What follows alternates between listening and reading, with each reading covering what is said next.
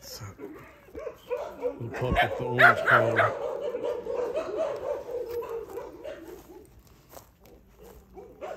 That pup right there. That one right there. Can't stand it. She does upgrade everything. He does upgrade everything we put him on. Just a little bit smaller. That's Lone Star right there.